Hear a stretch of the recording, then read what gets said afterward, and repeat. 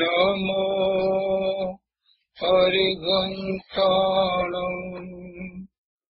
नमो सिद्धाणम् नमो आयुर्याणम् नमो जयाणम् नमो लोयसवसाहुणाम्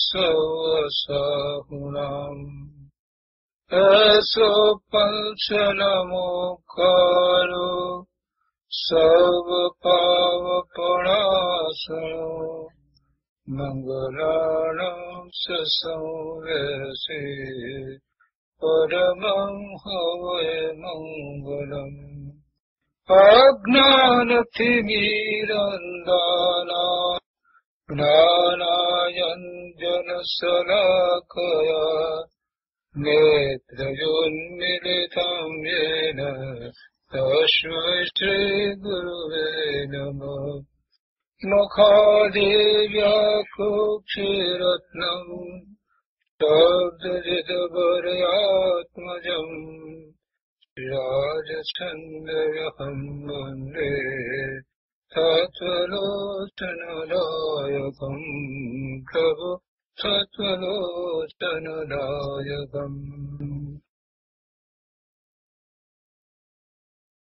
આત્મસિદ્ધિ કૃપાળુદેવ શ્રીમદ રાજચંદ્રજી રચિત આત્મસિદ્ધિ નો સ્વાધ્યાય ચાલે છે.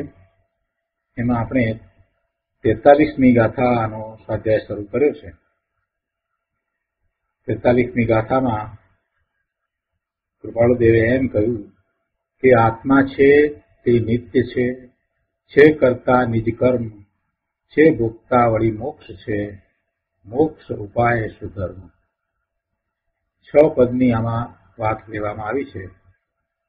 ષટપદ નામ કથન.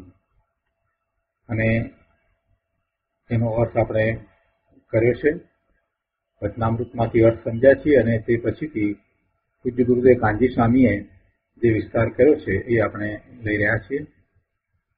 આત્મસિદ્ધિ ઉપર ગુરુદેવ કાંજી સ્વામીના પ્રવચનો આ પુસ્તકમાં પારા નંબર એકસો ઇઠ્યોતેર ઉપર બીજા પેરેગ્રાફમાં અહીંયા કહે છે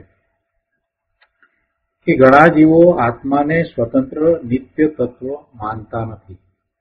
આત્મા છે એ વાત કરી અને પછી આત્મા નિત્ય છે તો એની વાત કરતા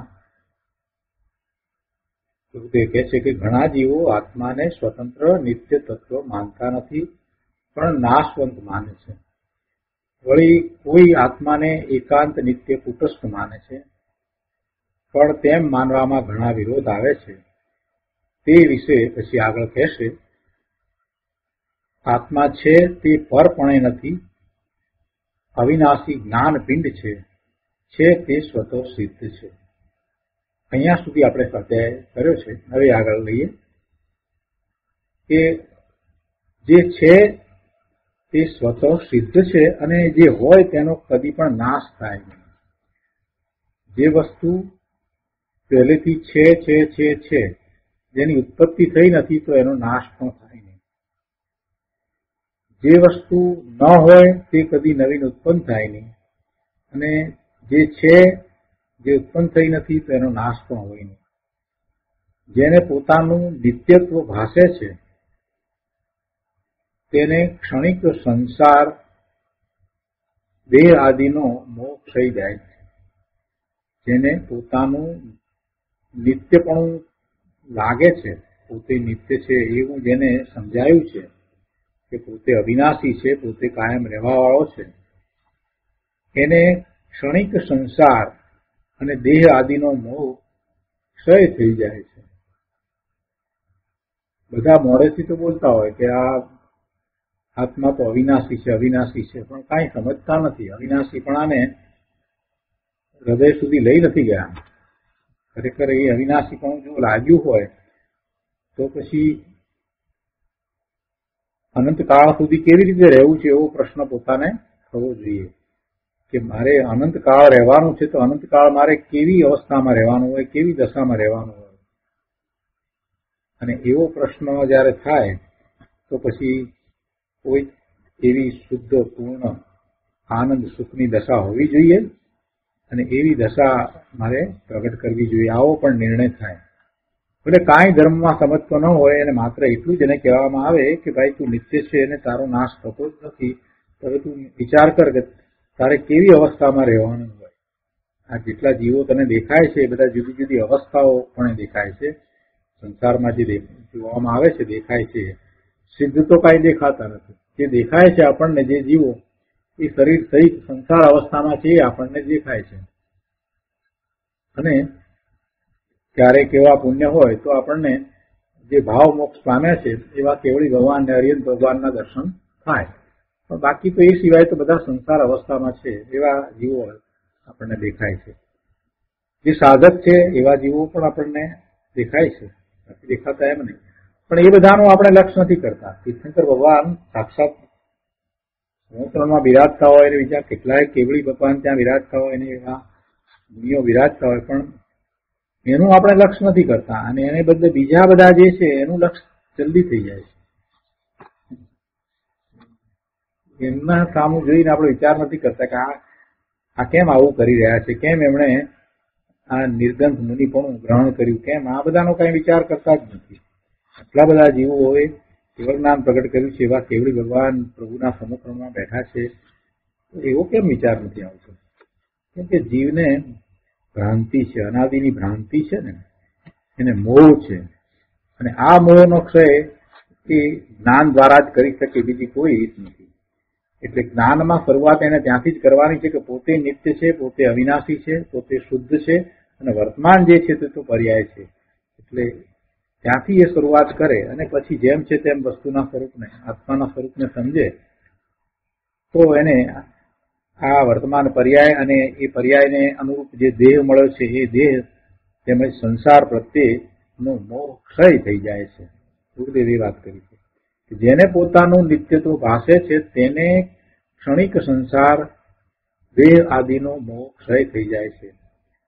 પર પદાર્થને ક્ષણિક માન્યા, પછી તે અનિત્યના સંયોગથી સુખ થાય એવું અજ્ઞાન.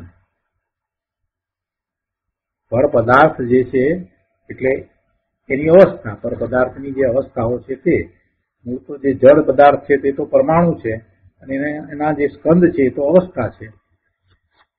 તો એને ક્ષણિક માન્યા પછીથી જે ક્ષણિક છે, જે રહેવાનું નથી કાયમ ટકીને, એમાંથી પછી મને કાયમ ક્યાંથી સુખ મળે? એવો જો વિચાર આવે, તો એને ખ્યાલ આવે કે પોતે ક્યાં ભૂલ કરી રહ્યો છે. અહીંયા કહે છે કે પર પદાર્થને ક્ષણિક માન્યા પછી તે અનિત્યના સંયોગથી, તે એ ક્ષણિક છે, એના સંયોગથી. મને સુખ થાય એ શું કહેવાય? એવી વાત એ અજ્ઞાન કહેવાય. તો કહે છે કે એ અનિત્યના સંયોગથી સુખ થાય એવું અજ્ઞાન, એવી માન્યતા કે તેમાં મોહ પામવાની બુદ્ધિ થાય નહીં. ક્યારે એવું ન થાય? કે જ્યારે એને નિર્ણય થઈ જાય કે પોતે નિત્ય છે, પોતે અવિનાશી છે એવો જ્યારે નિર્ણય થઈ જાય, ત્યાર પછીથી એની દ્રષ્ટિ બદલાય. ખરેખરી દ્રષ્ટિ તો એવો નિર્ણય થયા પછીથી પુરુષાર્થ કરે, પોતાના સ્વરૂપને શુદ્ધ માની, ત્રિકાળ શુદ્ધ માની અને પછી એવા સ્વરૂપને સ્પર્શવાનો પુરુષાર્થ કરે, ત્યારે એ થાય. પણ કહેવાનો આશય એવો છે કે તમે નિત્યનો વિચાર કરો તો પણ ધર્મમાં જવાય. સ્વરૂપને તમે અવિનાશી માનો અને નિત્ય છે. આ નિત્ય રહેવા વાળું છે તો પછી કંઈક બીજું અનિત્ય પણ છે, એવો પણ વિચાર આવે. તો નિત્યપણું શું છે? અનિત્યપણું કયા પ્રકારે છે? એનો વિચાર આવે. નિત્યપણું એટલે જે બદલાતું નથી, કાયમ રહેવાનું છે, જેનો નાશ નથી થતો, જે બળતું નથી, જે મળતું નથી, જે કપાતું નથી, એવું એક. અને બીજું જે નાશ પામે છે અનિત્યપણું. એટલે એનો વિચાર કરીએ તો દ્રવ્ય અપેક્ષાએ આત્મા નિત્ય છે અને પર્યાય અપેક્ષાએ અનિત્ય છે. આ વાત આપણને ખ્યાલમાં આવે છે. અને પોતે જ નિત્ય રહેવાનો છે તો પોતાની કોઈક ને કોઈક અવસ્થા તો હશે જ ને. તો અવસ્થામાં પણ આજે અનેક પ્રકારની અવસ્થા છે. એને બદલે કોઈ એવી અવસ્થા પણ હોવી જોઈએ કે જે કાયમ ટકીને રહેતી હોય. આવો પણ એને વિચાર આવે. ભલે કાંઈ ધર્મમાં સમજતો ન હોય, પણ આવું એ તર્ક દ્વારા નક્કી કરી શકે. અને એમ જે નક્કી કરે છે, એ પછી ધર્મના માર્ગે જાય છે. એટલે કોઈ જીવને તમે ઉપદેશ આપો અને એ ઉપદેશ પ્રમાણે ધર્મ કરે, એમ બનવા કરતા જીવ પોતે જ આવી વિચારણા કરે કે પોતે અવિનાશી છે, નિત્ય છે. પોતાનું એક નિત્ય ટકતું સ્વરૂપ છે અને બીજું અનિત્ય જે બદલાતું સ્વરૂપ છે. આ બધાનો પોતે વિચાર કરે તો એ ધર્મમાં જાય, ધર્મ માર્ગે વળે. બાકી તો કોઈ બીજી રીત નથી. એટલે એ વિચારણા થાય એ માટે કૃપાળુ દેવે આ છ પદનો પત્ર લખ્યો. કે આત્મા છે, આત્મા નિત્ય છે, આત્મા કરતા છે, આત્મા ભોગતા છે. મોક્ષ છે ને મોક્ષનો ઉપાય છે. એટલે આવી વિચારણા કરવા માટે જ આ આખો પત્ર લખાયો અને એના પછી એ પત્ર ના સંદર્ભમાં જ પછી આ આત્મસિદ્ધિ લખવામાં આવી. અહીંયા કે છે કે ઘણા માને છે કે કઈ સેવા કરીએ, બધાના શરીર સારા રહે, સંસાર સારો રહે એવી વ્યવસ્થા અમે કરીએ. સારી વાત છે. સારી વાત છે ને? શું સારી વાત છે? જે શક્ય નથી એમાં સારાપણું ક્યાં આવ્યું? જે થઈ શકતું જ નથી, મિથ્યા માન્યતા છે. ઘણા માને છે કે કંઈ સેવા કરીએ અને બધાના શરીર સારા રહે. પેલામાં જે શરીર સાથે જે આવ્યો છે, એનું પુણ્ય હશે ત્યારે એનું શરીર સારું રહેશે. નહીં હોય ત્યારે પછી એને સાથે વેદનીના ઉદય આવશે, એમાં તું શું કરી શકવાનું છે? અને એ સારો રહે એવો ભાવ થાય, એથી વિશેષ તું કરી તો શકતો નથી. પાછા કહે છે કે સંસાર સારો રહે સંસાર જે છે એ શું છે? રાગ દ્વેષના પરિણામ છે એ સંસાર છે. તેનો સારાપણું ક્યાં આવ્યું? રાગ દ્વેષને કારણે તો સંસાર છે.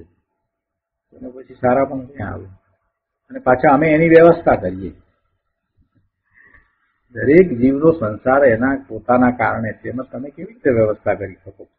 એના રાગ દ્વેષના જે ભાવ છે એ એનો સંસાર છે. સંસાર એટલે જગતના પદાર્થો એમ નહીં.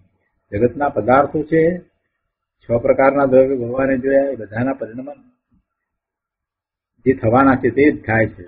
તમે માત્ર ભાવ કરો છો, બીજું કાંઈ કરતા નથી. અને એ ભાવ તમારા શુભાશુભ ભાવ છે, એ તમારો સંસાર છે. એ તમારો સંસાર તો એવો સંસાર તમે સારો રાખો ને એની વ્યવસ્થા કરો. આ વાત ક્યાં રહે છે એટલે ગુરુદેવ કહે છે કે એ બધી અનિત્ય વાત છે, અનિત્ય ચીજ છે, એ બધી પર્યાય છે અવસ્થાઓ છે, જે નિત્ય ટકીને રહેતી નથી. એ અનિત્યને રાખવાનું, એને રાખવી. જે નિત્ય નથી, એવી અનિત્ય પર્યાયને તમારે રાખવી. એમ કે સાતા વેદનીનો ઉદય છે, અથવા તો શરીર સારું છે, તો કે શરીર સારું રાખવું. એ તો શક્ય જ નથી. શરીરની એવી અવસ્થા, જ્યારે સાતા વેદનીનો ઉદય હોય, એવી અવસ્થા તો ક્ષણિક છે. તમે ક્ષણિકને કાયમ માટે કેવી રીતે રાખી શકો? જે અવસ્થા છે તે ક્ષણિક છે, નિત્ય નથી, તે અનિત્ય. તો અનિત્યને રાખી દેવાનું કરતાપણું માનવું તે અજ્ઞાન ભાવ છે. દરેક દરેક શબ્દ સમજવાના અહીંયા. શું કહ્યું? કે આ બધી વ્યવસ્થા અમે કરીએ એમ એ જે અનિત્ય છે, જે પર્યાય છે, પર્યાયને રાખી દેવાનું કરતા પણ માનવું કે અમે રાખીએ અથવા અમારે રાખવું છે, અમે કરીએ બધાને અમે સુખી કરીએ. બધાના શરીર અમે સારા રાખીએ. તો એવું કરતા પણ માનવું એ અજ્ઞાન ભાવ છે. કારણ કે બધા સંસારી જીવોના દેહ, કર્મ, પ્રારબ્ધના કારણે સારા કે ખરાબ થાય છે. એના જે પુણ્ય છે એ પ્રમાણે એને દેહ પ્રાપ્ત થયો છે ને એમાં એ પ્રમાણના ફેરફારો થયા જ કરે છે. તો તેમને બીજા કોઈ વડે કર્મ ફળ ઉપજતું નથી. બીજા કોઈ એનું કાંઈ કરી શકે નહીં. ડોક્ટર કંઈ આપણી સારવાર કરીને આપણને સાજા કરે એમ બનતું નથી.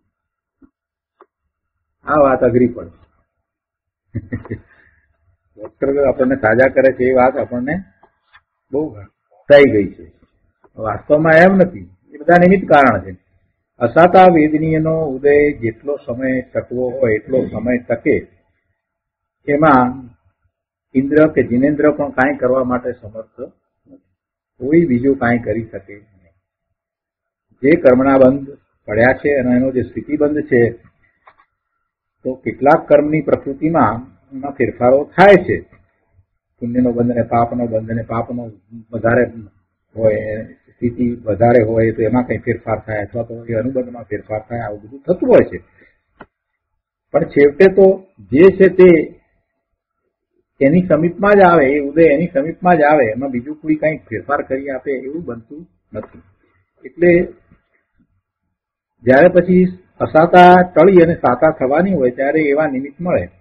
પછી એ નિમિત્ત તરીકે વૈદરાજ હોય કે ડોક્ટર હોય, ગમે તે હોય. કે પછી કોઈનો આશીર્વાદ હોય. પણ હું તો એ ઉદય એ આવ્યો હતો, એ ચાલ્યો ગયો, ખરી ગયું એ અસાતા વેદની કર્મ ખરી ગયું. એટલે એ વખતે પછી સાતાનો ઉદય હોય, ત્યારે પછી જે સામે નિમિત્ત હતું, એને તમે એમ માનો કે એને તમારું સારું કર્યું એને તમારો રોગ મટાડ્યો. એ કહે છે કે ખરેખર બીજા વડે કર્મ ફળ ઉપજતું નથી. કોઈ ઉપજાવી દે એમ થતું જ નથી. એટલે કોઈને તમે સુખી કરી શકો એવું બનતું નથી. તમે માત્ર એવો ભાવ કરો અને બીજાને સુખી કરવાનો ભાવ છે તે અજ્ઞાન ભાવ છે, પણ એવો ભાવ આવે છે તો એને શુભ કયો છે. પણ શુદ્ધ છે એથી કઈ ધર્મ થતો નથી એ બંધનું કારણ છે. તો સાચા સુખ નો ઉપાય તો આત્માની ઓળખાણમાં છે. આત્માની ઓળખાણ, આત્માને જાણવો, સમજવો અને પછી એવા પોતાના પૂર્ણ શુદ્ધ આનંદરૂપ, સુખરૂપ સ્વરૂપની પ્રાપ્તિ કરવી. સુખ બાહ્ય પદાર્થમાં નથી. કૃપાળુદેવ કહે છે કે આ છ બોલની સુવિચારણા વડે એને ભલી શાંતિ જાણવું અને એવી વિચારણા કરે તો એ વિચારણાને ભલી વિચારણા કહેવાય. સુવિચારણા કહેવાય. છ બોલની છ. પદ ગયા ને આ રીતે વિચારણા કરવાની છે. ત્રીજું પદ હવે. ત્રીજા પદ માટે કહે છે કે આત્મા કરતા છે. એટલે કે કર્મ તો અનિત્ય છે, જળ છે, અને આત્મા અરૂપી જ્ઞાન છે, ચૈતન્ય છે. પ્રકૃતિ જળ, રૂપી મૂર્તિક પદાર્થ છે. તે સ્વતંત્ર, છૂટા, અનંત પરમાણુઓ છે. તે પણ ત્રિકાળ સત છે. જો આત્મા કરતા છે કરતા છે એટલે કોનો કરતા છે? એ એમાંથી આપણે મૂળ તો સમજવાનું છે. કરતા છે, એમાં એક વાત એ આવે કે કરતા છે એ તો કાયમ રહે છે, એ તો અવિનાશી છે. પણ જે કાર્ય થાય છે, જે કર્મ થયું, એ અવસ્થા થઈ, એ કાર્ય થયું, એ અવિનાશી નથી. જે જે કંઈ પર્યાયો થાય છે, જળની પર્યાયો જે થઈ, તો એ તો નાશવંત શરીરની પર્યાય જે કંઈ થાય એ બધી જ પર્યાય જે છે તે ક્ષણિક છે. અહીંયા કહે છે કે આત્મા કરતા છે. એટલે કે કર્મ તો અનિત્ય છે, કર્મ તો અનિત્ય છે. આત્માને પહેલા નિત્ય કહ્યો ને, ત્યાર પછી અહીંયા આગળ વાત ચાલે છે. કર્તામાં એ પાછી વાત એ લઈ લીધી કે આત્મા કરતા છે અને નિત્ય છે, પણ પેલું કર્મ છે એ તો અનિત્ય છે અને જળ છે. અને આત્મા અરૂપી જ્ઞાન છે. જ્ઞાન છે. એમ નહીં કે જ્ઞાન વાળો છે એમ નહીં. જ્ઞાન જ છે. આત્મા જ્ઞાન કઈ જુદા નથી. જ્ઞાનમય છે એટલે આત્મા અરૂપી જ્ઞાન છે. ચૈતન્ય છે. અને પ્રકૃતિ, આ કર્મની પ્રકૃતિ જે છે એ તો જળ છે. કર્મની પ્રકૃતિઓ એ જળ છે. આ પરમાણુ એ પણ જળ છે, રૂપી છે અને મૂર્તિકપણું છે. એ બધા સ્વતંત્ર પરમાણુઓ છૂટા છે અને છૂટા અનંત પરમાણુઓ છે. અને એ અનંત પરમાણુઓ છે, એ પણ ત્રિકાળ સત છે, એ હોવા પણ છે. ત્રણેય કાળે પરમાણુઓ રહે છે. અને તે જળ પૂતગળ અને અરૂપી આત્માનો સંયોગ સંબંધ પ્રવાહ રૂપે અનાદિથી છે. આત્માને આ જળ સાથેનો, પૂતગળ સાથેનો જે સંબંધ છે, બધા જ પૂતગળ, જે એને કર્મના ઉદયના નિમિત્તે પ્રાપ્ત થાય છે એ, અને જે જળ કર્મ છે એટલે કે જે કર્મને રજકણો એ એ બધું જળ. તો એ બધું એને સંયોગ સંબંધે મળ્યું છે. એ કઈ એના આત્મામાં કોઈ ગુણ છે, એને માટે મળ્યું છે એમ નથી. અને એ બધું છે પણ ક્ષણિક. એટલે આત્માનો, આત્મા અરૂપી છે, એનો આ જળ પૂતગળ સાથેનો જે સંબંધ છે, એ સંયોગ સંબંધ છે. એ વાસ્તવિક સંબંધ નથી. તો એવો સંબંધ જે છે એ પ્રવાહ રૂપે અનાદિથી છે એટલે એવી પર્યાયો નો પ્રવાહ છે. ભૂતગળના સંયોગ જે છે એને કારણે એની જે કંઈ એની સાથે એનું લક્ષ્ય કરતા જે કંઈ જીવની પર્યાય થાય છે, તો એ એ સંયોગ સંબંધ છે અને એવા એવા પરિણામ એને સતત થયા જ કરે છે, થયા કરે છે, અનાદિથી થયા કરે છે. એટલે એવું એવો પર્યાયનો પ્રવાહ, એ અનાદિથી છે. એક પછી એક એવી પર્યાયો થયા જ કરે છે. તે જળ કર્મો, રાગ દ્વેષનું નિમિત્ત પામીને નવા આવરણ રૂપે એક ક્ષેત્રે બંધાય છે. આ જળ કર્મો જીવના રાગ દ્વેષનું નિમિત્ત પામીને, એટલે કે જીવને જ્યારે રાગ દ્વેષ થાય છે, તો સામે કર્મનો બંધ પડે છે. જીવના રાગ દ્વેષના નિમિત્તે કર્મનો બંધ પડે છે. આ કરતા કર્મ અધિકારની અંદર બહુ સરસ રીતે આપણે સમજ્યા છીએ કે પહેલાના જે કર્મ છે એ ઉદયમાં આવે છે અને એનું લક્ષ કરી અને જીવ શુભ કે અશુભ ભાવે થાય છે એને રાગ દ્વેષના ભાવ થાય છે. તો એવા રાગ દ્વેષના ભાવના નિમિત્તે આશ્રવ અને બંધ થાય છે એટલે નવા કર્મ બંધાય છે. પેલા જૂના કર્મ કરી જાય છે અને નવા કર્મ બંધાય છે. અને નવા કર્મ જે બંધાયા એ પછી ફરી ઉદયમાં આવે એટલે એનું લક્ષ કરતા ફરી પાછા રાગ દ્વેષ થાય અને નવા કર્મ બંધાય. એટલે જૂના કરે ને નવા બંધાય. આમ ચાલ્યા કરે છે. એ ક્યાં સુધી ચાલે? જ્યાં સુધી એને અજ્ઞાન દશા છે, ત્યાં સુધી. જ્યાં સુધી એ પરનું લક્ષ કરીને રાગ દ્વેષ કર્યા કરે છે, ત્યાં સુધી. તો રાગ દ્વેષને રોકી દઈએ તો? લોકોને મનમાં એમ થાય કે તો આપણે રાગ દ્વેષ કરવા નથી. રાગ દ્વેષ કરવા નથી, વાત તો બરાબર તારી પર એ શક્ય છે. તું જેના લક્ષ્ય રહ્યો છે, પરના લક્ષ્ય રહ્યો છે, તો ત્યાં પરનું લક્ષ કરતા તને શુભ કે શુભ ભાવ તો થશે જ. જો તારે રાગ દ્વેષ ન થાય એવી દશામાં જવું હોય તો એક જ રસ્તો છે કે તું તારા સ્વરૂપમાં જા. સ્વરૂપમાં જાય તો તને રાગ દ્વેષ ન થાય. બાકી તો રાગ દ્વેષ તો થવાના જ છે. પરનું લક્ષ કરતા રાગ દ્વેષ ન થાય એ બને જ નહીં. શુભ કે શુભ ભાવ થાય જ. પોતે શુદ્ધ ભાવમાં નથી અને પોતાના સ્વરૂપથી ચ્યુત થયો છે, બહારમાં આવ્યો છે, તો એને શુભ અથવા અશુભ બેમાંથી એક ભાવ જ હોય. શુભ, અશુભ શુભ અશુભ શુભ, અશુભ ચાલ્યા જ કર્યા આખો વખત એમ જ ચાલ્યા કરે છે. નાના પ્રકારે આપણે શુભ ભાવ અને નાના પ્રકારે અશુભ ભાવ આખો દિવસ કરીએ છીએ. એમાંથી તો કંઈ છૂટાતું નથી. પછી રાગ દ્વેષ તો થયા અને રાગ દ્વેષ થયા, તો પછી નવા કર્મ પણ બંધાશે. તો કર્મરહિત થવાનો રસ્તો શું? કર્મરહિત કેવી રીતે થવાય? તો કે છે કે તું શુદ્ધ ભાવે રહે, શુદ્ધ ભાવે કેવી રીતે રહેવાય?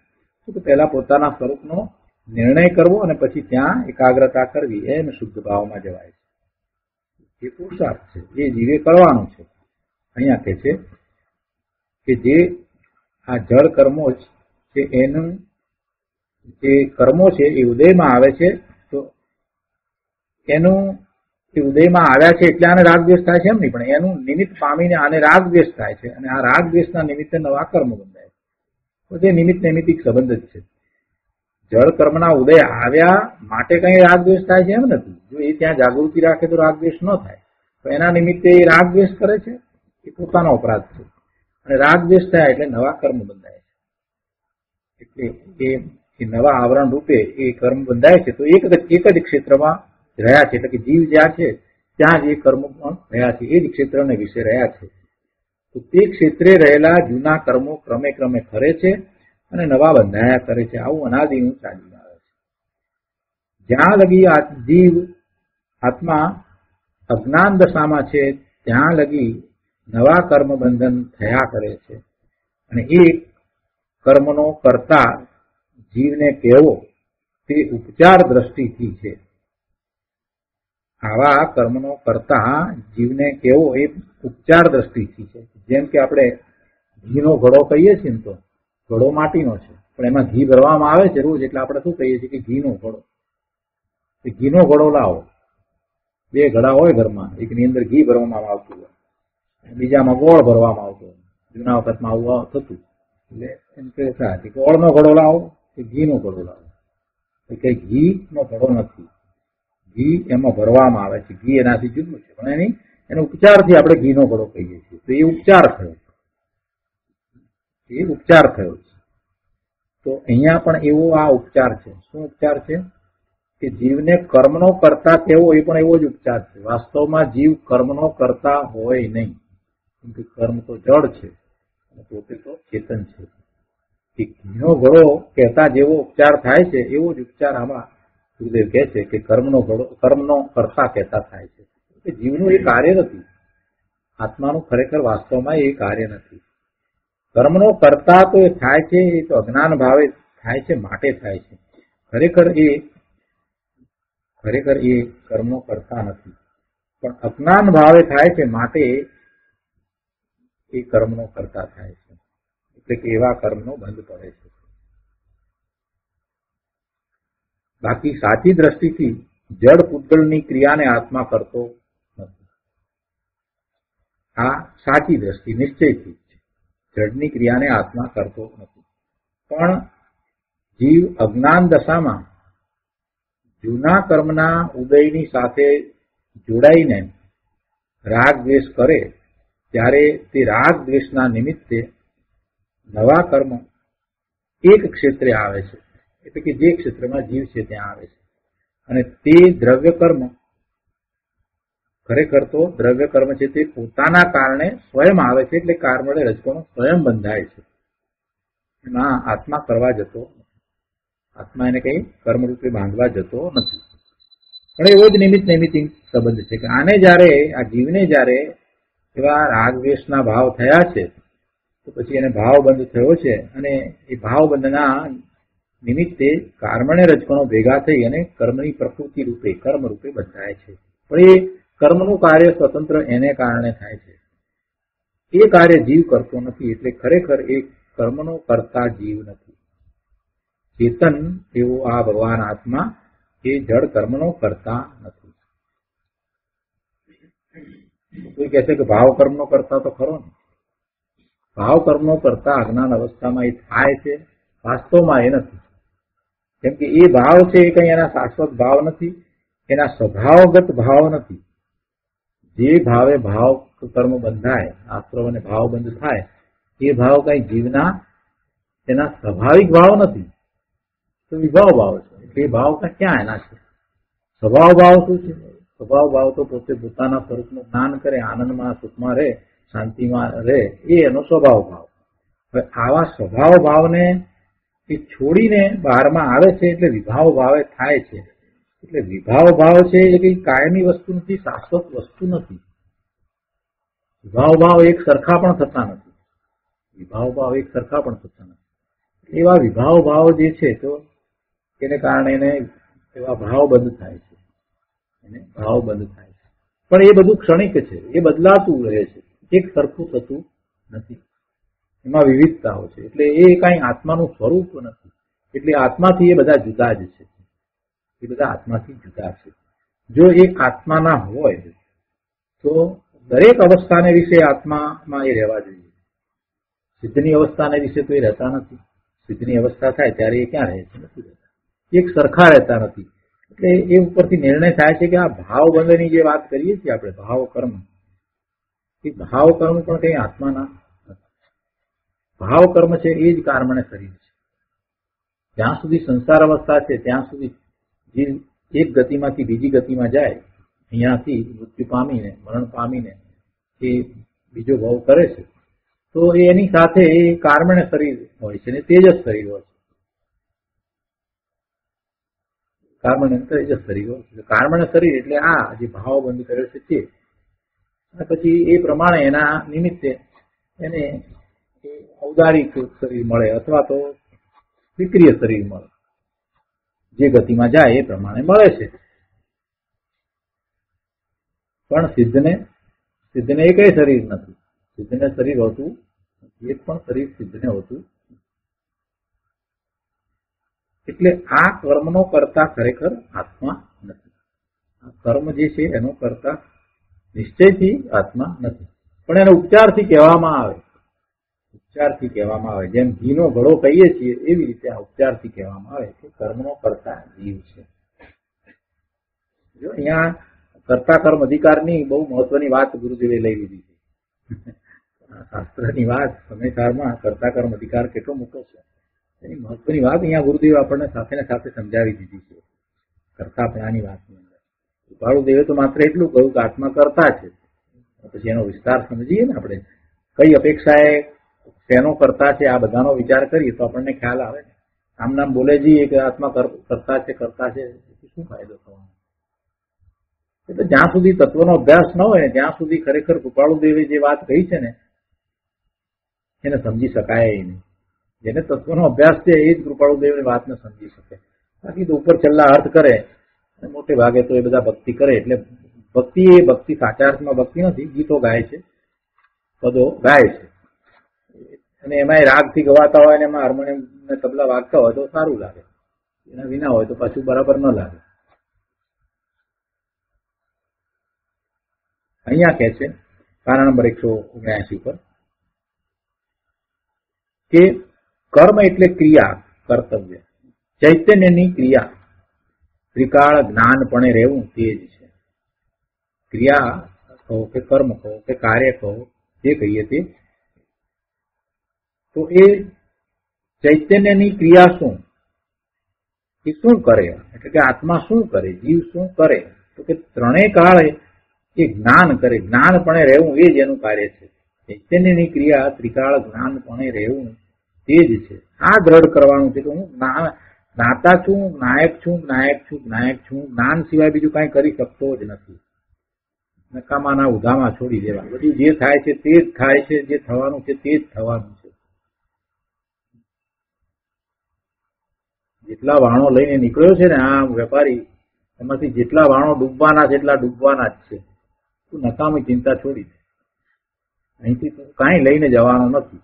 અત્યારથી એ છોડી દે. જ્ઞાન સિવાય તું કાંઈ કરી શકતો નથી.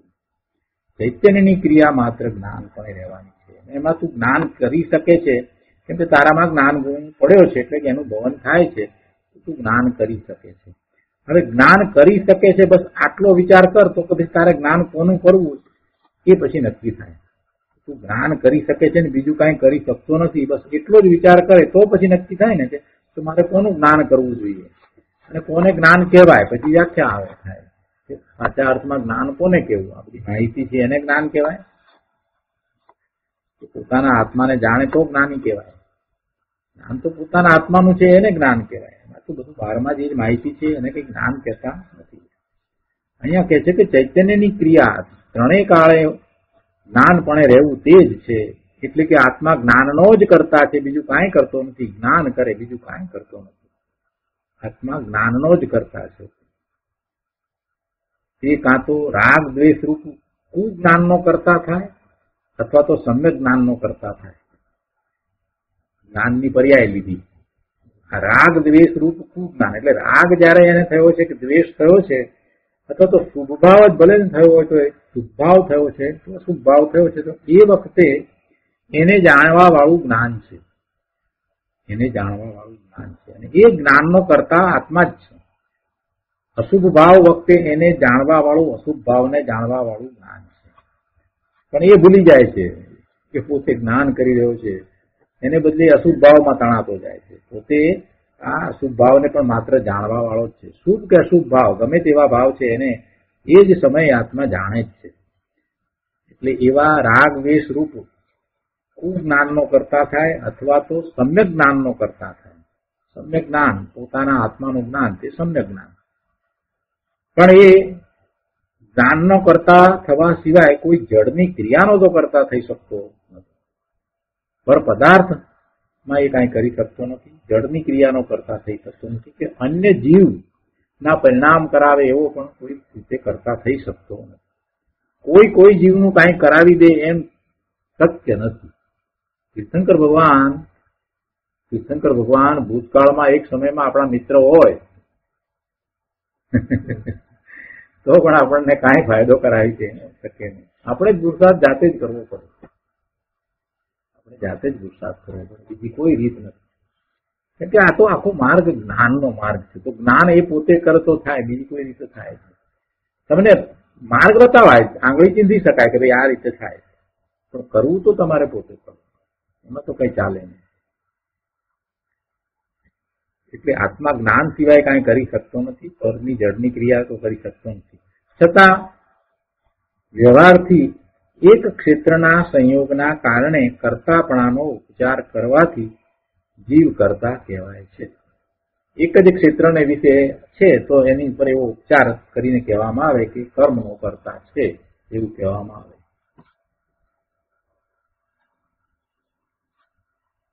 આત્મા કયા કર્તવ્યનો કરતા છે અને કઈ દ્રષ્ટિથી પરનો કરતા કહેવાય છે? એટલે કરતા છે નહીં, પણ કહેવાય છે. કરતા છે એક વાત છે. અને બીજું કરતા કહેવાય, એ બીજી વાત છે. એટલે કે જે નથી, પણ ઉપચારથી કરતા કહેવાય. અને પેલું છે. તો એ ત્રીજા પદમાં આગળ ન્યાયપૂર્વક અને યુક્તિ સહિત આવશે. પછી એની વાત આવશે. કોઈ અહીંયા પ્રશ્ન કરે કે શાસ્ત્રમાં વ્યવહારથી જીવને જળ કર્મનો કરતા કેમ કયો છે? તો તેનું કારણ એ છે કે જ્યાં સુધી જીવ રાગ દ્વેષ કરે છે, એટલે કે રાગ દ્વેષના ભાવે જીવ થાય છે, ત્યાં સુધી કર્મ બંધન થયા જ કરે છે. એટલા માટે એને રાગ દ્વેષ થાય છે, એટલે કર્મ બંધન થાય છે, એટલે એનો કરતા કયો છે. જ્યાં સુધી જીવ રાગ દ્વેષ કરે છે, ત્યાં સુધી કર્મ બંધન થયા જ કરે છે. કોઈ એકાંત નિશ્ચય આભાસી શુષ્ક જ્ઞાની એકાંતે વસ્તુને લે છે વસ્તુને સમજે છે એવી માન્યતા કરે છે નિશ્ચય આભાસી છે નિશ્ચયને ખરેખર જાણતો નથી પણ એનો આભાસ છે એવો એ શુષ્ક જ્ઞાની જો એમ કે કે હું જળનો અને રાગનો કરતા નથી, કેમ કે રાગ દ્વેષ જ્ઞાનમાં નથી, એટલે હું જળનો અને રાગનો કરતા નથી, એમ એ બોલે કોણ નિશ્ચય આભાસી શુષ્ક જ્ઞાની અને જેની માન્યતા એકાંતે છે, જે વસ્તુના સ્વરૂપને અનેકાંતથી સમજ્યો નથી. એવો એ બોલે, ખાલી હે, એટલું જ. તો એમ બોલવાથી એ અજ્ઞાન સહિત પુરુષાર્થહીન વાક્યો બોલે છે. અને તેને જ્ઞાની કહે છે કે રાગ દ્વેષ અને કર્મ બંધન તારાથી જ થાય છે. એવું જે બોલવા વાળો છે, નિશ્ચય આભાસી શુષ્ક જ્ઞાની, એને જ્ઞાની એમ કે છે કે ભાઈ, આ રાગ, દ્વેષ અને કર્મ બંધન છે ને એ તારાથી થાય છે, તું એનો કરતા છો. એને એમ કહેવામાં આવે છે. જ્ઞાની એને એમ સમજાવે પેલો જ્ઞાની નથી, નિશ્ચય આભાસી છે, વસ્તુના સ્વરૂપને એકાંતે પકડીને બેઠો છે અને પાછો એ એમ બોલે છે કે અમારામાં તો રાગ કે દ્વેષ કાંઈ છે જ નહીં. આત્મામાં તો રાગ દ્વેષ નથી કે અમારામાં રાગ દ્વેષ નથી. જયારે વર્તમાન પર્યાયમાં તો એને રાગ દ્વેષ છે, પણ એ એમ બોલે છે, એટલે કે માત્ર જે નિશ્ચય અપેક્ષા એ શુદ્ધ સ્વરૂપ છે, એની વાતને સ્વીકારે છે, અને વ્યવહાર અપેક્ષાએ જે વાત છે, પોતાની વર્તમાન પર્યાય છે, એને સ્વીકારતો નથી. એટલે એ ખરેખર તો એ અજ્ઞાની છે. એ વસ્તુના સ્વરૂપને એકાંતે પકડી રહ્યો છે તો એને જ્ઞાની પુરુષો, મહાપુરુષો એને ઉપદેશ આપે છે કે ભાઈ આ રાગ દ્વેષ જે થયા ને તને અને એને કારણે જે કર્મ બંધ થાય છે, એનો કરતા તું છો, એને માટે જવાબદાર તું છો, એ તારો અપરાધ છે. તું કાઢી નાખે એમ નહીં ચાલે. તારે તારે સાથે ને સાથે એ જાતના વ્યવહારને સમજવો પડશે. વ્યવહાર જાણેલો પ્રયોજનવાન છે. તમે સરની બાળકની કાથામાં કહ્યું ને આદરવાની વાત નથી કરી. પણ તમારી જે દશા છે એને તમારે સમજવી તો પડશે કે વર્તમાન દશા છે, ભલે ક્ષણિક છે, પણ અત્યારે વર્તમાન દશામાં મલિનતા છે. અને વર્તમાન દશામાં મલિનતા વારંવાર થઈ રહી છે. એનો સ્વીકાર ન કરીએ એટલે આપણે આપણા અપરાધનો સ્વીકાર ન કરીએ તો ધર્મમાં આગળ વધાય નહીં. જો દોષનો સ્વીકાર કરવો, પોતાના અપરાધનો સ્વીકાર કરવો, આ બહુ ઓછા લોકો કરી શકે છે. પોતાના દોષનો સ્વીકાર ન કરો તો એ તમે દોષ દૂર કરતા જ નથી. દોષ દૂર થાય જ નહીં. આ બહુ અઘરું છે. આ સાચી ખૂબ અઘરું છે. આપણે બધાને માટે અઘરું છે, પણ છતાં એ કરવા જેવું છે. પોતાના દોષનો સ્વીકાર કરવો આપણે ક્રિશ્ચિયાનિટીમાં એમ માનીએ છીએ ને કે એ લોકો કન્ફેશન કરે છે. પણ ક્રિશ્ચિયાનિટીની વાત તો પછીથી આવી. આ કન્ફેશન કરતા બહુ ઉત્તમ વાત તો આપણા ધર્મોની અંદર જૈન દર્શનમાં ક્યારની અનાદિની પડી છે. નિંદા અને ગરહાની વાત છે. નિંદા, ગરહા. નિંદા, ગરહા એટલે શું? પોતાના દોષની નિંદા કરવી. પોતાના દોષની નિંદા કરવી કે આ મારામાં દોષ છે એવી નિંદા. આ જૈન દર્શનમાં નિંદા, ગરહા તો બહુ મોટી વસ્તુ છે. અને પાછું એને માટે થઈ અને જ્ઞાની પાસે એટલે ગુરુ પાસે પ્રાયશ્ચિત કરવું, એમની પાસે કબૂલ કરવું અને પછી એમની પાસે પ્રાયશ્ચિત માગવું, એમની સમીપે જઈને. એ તો જૈન દર્શનમાં અનાદિનું પડ્યું છે. એટલે પોતામાં દોષ છે એવો જે સ્વીકાર નથી કરતો અને માત્ર શુષ્ક જ્ઞાની થઈ અને વર્તે છે, એને જ્ઞાની પુરુષો એમ કે છે કે ભાઈ રાગ દેશ જે થયા છે, તો એને માટે તું જ જવાબદાર છે, એટલે કે તું એનો કરતા છો. એનો કરતા છો? જ્યાં સુધી રાગ દ્વેષ થાય છે, ત્યાં સુધી કર્મના બંધ થાય છે, એટલે એ અપેક્ષાથી એને એમ પણ કહેવામાં આવે છે. ભલે એ નિશ્ચયને એનું કથન નથી, વ્યવહારને એનું કથન છે, પણ વાત એમ જ છે. એટલે એમ જે અજ્ઞાન સહિત પુરુષાર્થહીન વાક્યો જે બોલે છે, તેને જ્ઞાની કહે છે કે રાગ દ્વેષ અને કર્મ બંધન તારાથી જ થાય છે. અને આ વાત એને પકડવી પડે, સ્વીકારવી પડે. જે સ્વીકારે, તો પછી રાગ દ્વેષને દૂર કરવાનો પ્રયત્ન થાય. હવે બીજી વાત. કે જે માત્ર ક્રિયાકાંડમાં જ રાચી રહ્યો છે.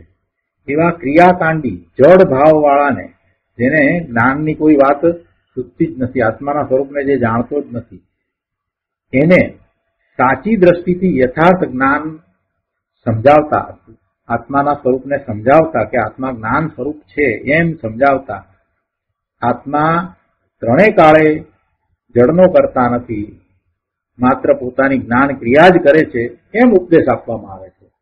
એટલે જ્યાં જે પ્રમાણે છે, તે પ્રમાણે ઉપદેશ આપવામાં આવે છે અને બંને સાથે અપેક્ષાઓ રહેલી છે. બંને વાત છે. બંને વાત એમ જ છે. કેમ કે જે પુરુષાર્થ ઊંધો કરી રહ્યો છે, એને એમ સમજાવવું છે કે ભાઈ, જ્ઞાન માર્ગે જ પુરુષાર્થ સાચો થાય. એને એ સમજાવવું છે. અને પેલો પુરુષાર્થ હીન થઈ જાય છે. નિશ્ચય આભાસી થઈ અને પુરુષાર્થ કરતો જ નથી. અને એમ સમજાવવું છે કે ભાઈ, હજી આ બધી મલિનતા પડી છે બધી કાઢવાની છે. એ તો જે કહેવામાં આવ્યું છે તો તારું શુદ્ધ સ્વરૂપ સમજાવવામાં આવ્યું છે, પણ હવે એ અચીવ કરવાનું જ તારે. એને એમ સમજાવવાનું કે બંને વસ્તુ જ્યાં જે રીતે છે તેમ પકડવી પડે. જીવ તત્વને રાગનો કરતા માનવો એ જ અજ્ઞાન છે. માનવાની અપેક્ષાથી વાત છે. શ્રદ્ધામાં તો તમને એમ જ હોવું જોઈએ કે આ જીવ તત્વ ખરેખર તો પોતાના જ્ઞાન ભાવનું જ કરતા છે. અને આ જ્ઞાન ભાવનું કરતા છે છતાંય એ રાગદ્વેષના ભાવે થાય છે, તેમાં પોતાનો દોષ છે, પોતાનો અપરાધ છે. એટલે એમ બંને અપેક્ષા એને જે લે છે, એને કોઈ વાંધો આવતો નથી. એટલે મહાપુરુષો એ વાત આપણને સમજાવે છે અને અહીંયા છ પદમાં આ રીતે ઘણી બધી સ્પષ્ટતાઓ કરી છે. ઘણા ખુલાસાઓ આવી જાય છે. શાસ્ત્રમાં જે રીતે જે અપેક્ષાથી વાતો, એ રીતે એમાં લેવાની હોય છે. આગળ પણ કહે છે કે આત્મા ત્રણેય કાળ પરનો અકર્તા છે. હવે સરસ વાત કરી છે, જરા શાંતિથી સમજવાની છે. કે છે કે આત્મા ત્રણેય કાળ, ત્રિકાળ પરનો અકર્તા છે, એટલે પરનો કાંઈ કરી શકતો નથી. એટલે કે છે કરતા નિજ કર્મનો. એમ જે કહેવામાં આવ્યું છે ને, એમાં કરતા હું અને કર્મ પણ હું કર્તાનું ઈષ્ટ તે કર્મ. આ ત્રીજા પદમાં જ્ઞાનીનું ઈષ્ટ શું અને અજ્ઞાનીનું ઈષ્ટ શું તે જણાવશે. ફરીથી, આત્મા ત્રણેય કાળ પરનો અકર્તા છે એટલે એ વાત તો બરાબર છે ત્રણેય કાળે છે.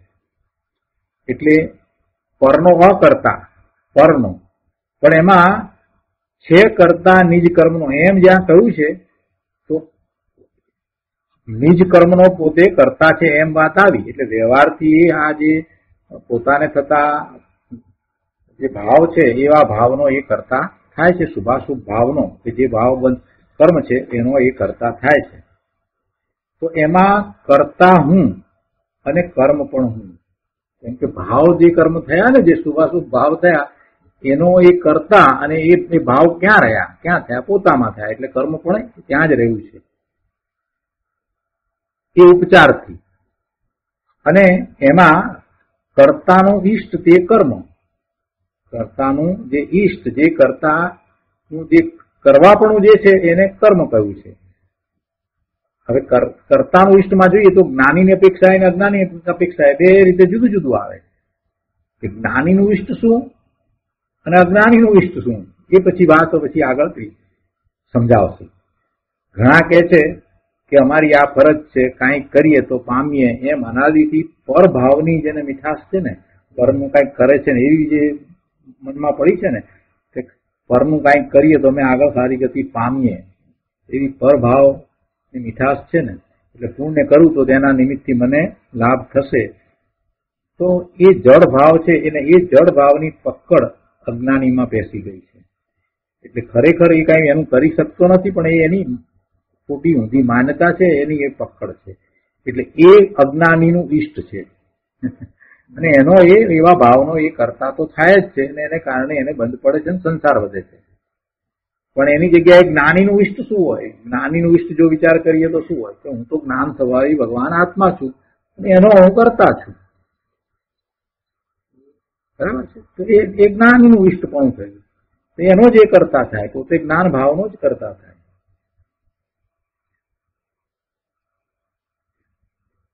પરમા મમત્વ બુદ્ધિ ઈષ્ટ અનિષ્ટપણું ઉપજાવે છે અને સત પ્રત્યે અનાદર ઉપજાવે છે. તેને ભવનો ભાવ છે. અને એમ હોય ને કે અમે પરનું કાંઈક કરીએ ને એમાં પુણ્યનો બંધ થાય તો સારું એમ જેને છે ને એને ભવનો ભાવ છે. એને જે ભવ કરવા જ છે. એને સંસાર દશા હજી જોઈએ છે. પણ જેને સંસાર દશા જોઈતી નથી, પણ માત્ર પોતાનું ઈષ્ટ પોતાનું ઈષ્ટ અવ્યાબાદ સુખ જ જોઈએ છે પોતાનું ઈષ્ટ શું છે? અવ્યાબાદ સુખ જ છે. એવું જેને જોઈએ છે, પોતાનું ઈષ્ટ એવું જોઈએ છે, તે નિર્મળ, નિર્દોષ જ્ઞાન ક્રિયા જ કરે છે અને એનો જ એ કરતા થાય છે. એ જ્ઞાતા દ્રષ્ટાપણે જ, જ્ઞાનમાં જ રહે છે. જ્ઞાનીની વાત પણ આવી, અજ્ઞાનીની વાતનું પણ આવી. એટલે જ્ઞાનીનું કરતાપણું અજ્ઞાનીનું કરતાપણું કયા પ્રકારે છે તે આ ગુરુદેવે અહીંયા આપણને સમજાવ્યું છે.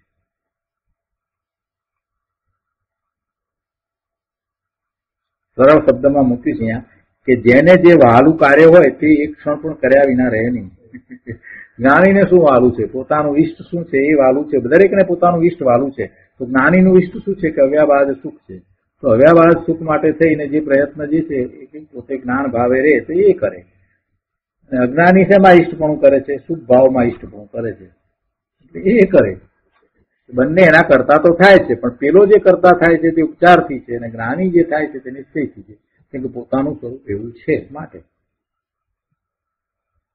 પછી એનો વિસ્તાર બધું શિષ્યના સંવાદમાં જે વાત આવે છે, ભક્તિ ગુરુદેવે કર્યો છે બધો વિસ્તાર. અહીંયા કહે છે, મુમુક્ષુ પોતાના જ્ઞાન સ્વરૂપની રક્ષા કરે છે. મુમુક્ષુ એટલે કોણ? મોક્ષાર્થી છે તે મુમુક્ષુ છે. એને મોક્ષની અભિલાષા છે તે મુમુક્ષુ છે.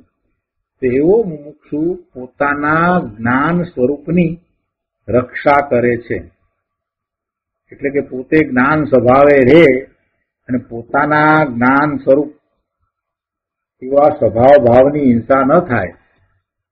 એવું એ કરે છે. તો શું કરે કે પરભાવમાં જાય નહીં. પોતાના જ્ઞાન સ્વરૂપની રક્ષા કરવી એટલે શું? કે પોતે વિભાવ ભાવે જવું નહીં.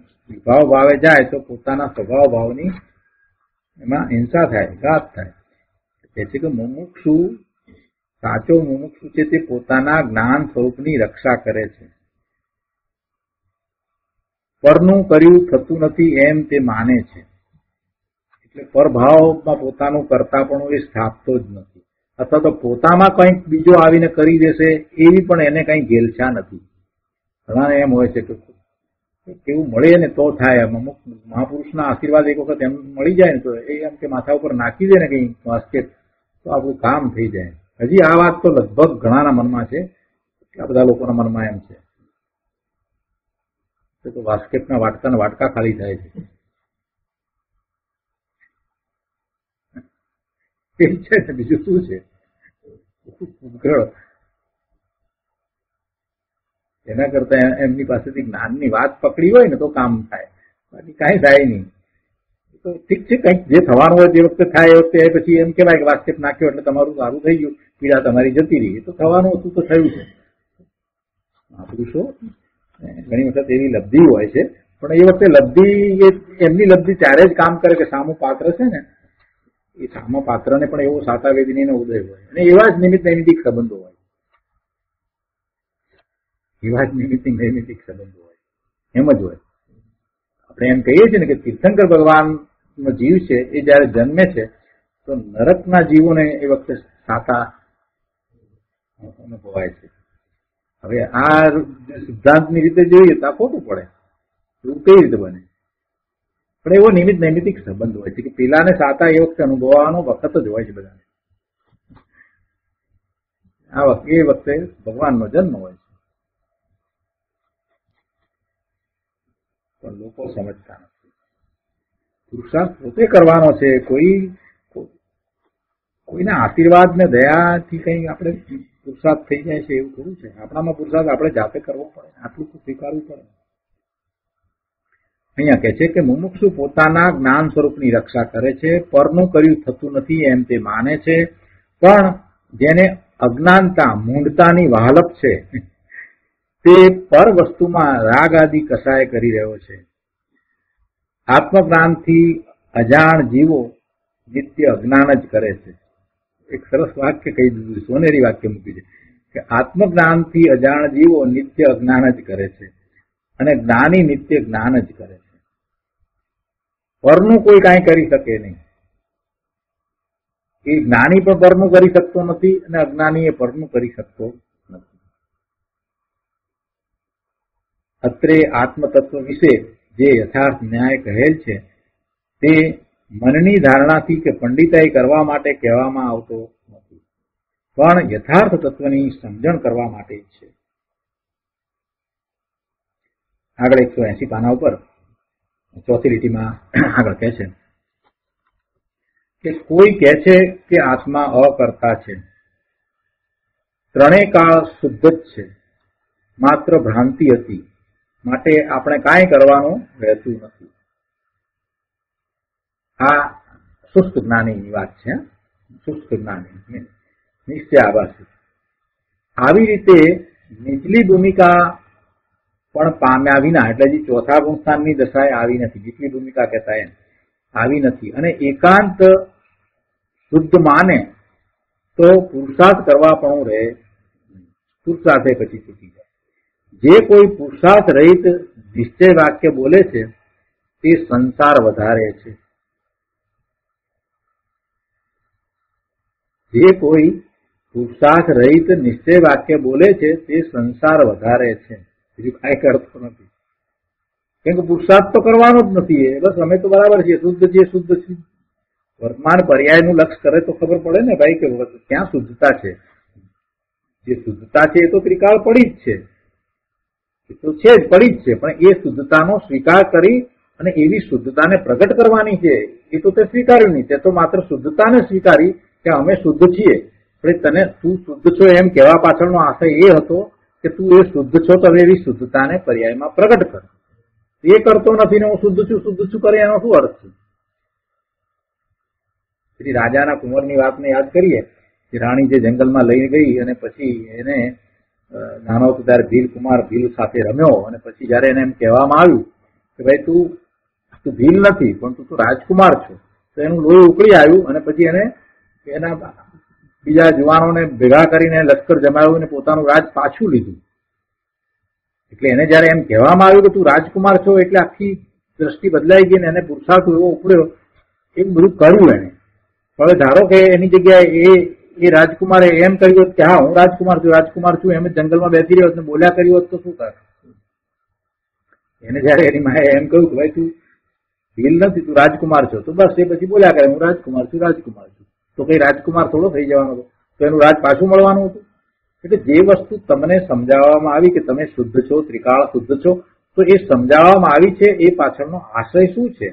તો કે પોતાને એવો સાચો સ્વીકાર થાય અને એવું વર્તમાન પર્યાયમાં પ્રગટ કરવાનું છે. તો એવું પ્રગટ ન કરે ને માત્ર બોલ્યા કરે કે અમે શુદ્ધ છીએ શુદ્ધ છીએ. અમે રાજકુમાર છીએ રાજકુમાર છીએ. તો પછી શું થવાનું છે? પુરુષાર્થ જ નહીં થાય. પુરુષાર્થ કરવા માટે કહેવામાં આવે છે. એટલે નિશ્ચય આભાસીની આખી વાત જુદી હોય છે. પુરુષાર્થહીન થઈ ગયો તો. કે છે? કે એકાંત શુદ્ધ માને પોતાને. એકાંત. અહીંયા સરસ શબ્દ મૂક્યા છે. અને એકાંતથી જુએ તો વર્તમાન પર્યાયને જુએ ને. અહીંયા તો એકાંત શુદ્ધ માને તો પુરુષાર્થ કરવા પણ રહે નહીં. જે કોઈ પુરુષાર્થ રહિત નિશ્ચય વાક્યો બોલે છે, તે સંસાર વધારે છે. વર્તમાન અવસ્થામાં મલિનતા છે, વર્તમાન અવસ્થામાં મલિનતા છે, એવું સ્વીકાર કરી જ લેવાનો. મલિનતા છે અને વર્તમાનમાં આપણે રાગે અને દ્વેષે થઈ જઈએ છીએ. રાગ, દ્વેષના ભાવો કરીએ છીએ પણ સ્વીકારી લેવું છે તો જે દૂર થશે. વર્તમાન અવસ્થામાં મલિનતા છે, તેથી પુરુષાર્થ કરવાનો બાકી છે. કેટલું બધું સરસ રીતે સરળ શબ્દોમાં સમજાવ્યું છે. તો એવી રીતે અપેક્ષા સમજ્યા વિના એકાંત લેવું નહીં. એકાંતે લેવું નહીં કે હું શુદ્ધ છું. પણ એમ પણ નહીં કે હું શુદ્ધ છું એ વાતને છોડી દઈને ગમે તેમ ક્રિયાકાંડમાં ફસાઈ જવું એમ પણ નહીં. આત્મા નિજ ચૈતન્ય જ્ઞાન કાર્યનો કરતા છે. પર કાર્ય કરવા કદી સમર્થ નથી. પણ અજ્ઞાનપણે રાગ દ્વેષ કરે. કલુષિતતા કરે, જ્ઞાનમાં અસ્થિરતા કરે, પર વસ્તુમાં મોહ પામે, તો સંસારમાં રખડવું પડે. કોઈ જીવને અકર્તા માને છે, તેની સામે અહીં આ કરતાપણું સાચું છે. આ કૃપાળુ દેવે જે કરતાપણું કહ્યું, જે ઉપચારથી જે, એ આ પ્રકારનું પણ કરતાપણું થયું છે.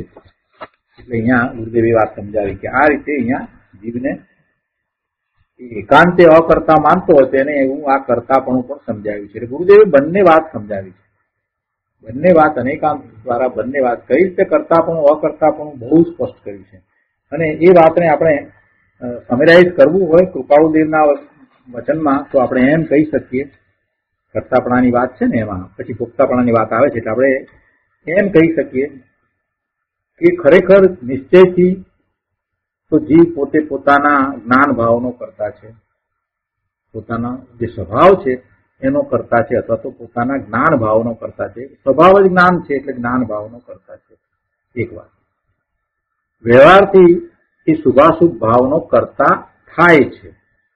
છે નહીં? થાય છે. વ્યવહારથી એ શુભાશુભ ભાવનો કરતા થાય છે. એમાં એનો દોષ છે.